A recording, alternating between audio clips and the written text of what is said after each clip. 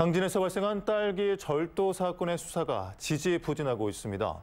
강진경찰서는 최근 딸기 도난 피해를 입은 강진의 시설하우스 농가들의 CCTV가 설치되지 않아 증거 확보에 어려움을 겪고 있다며 현재까지 용의자를 특정하지 못했다고 밝혔습니다.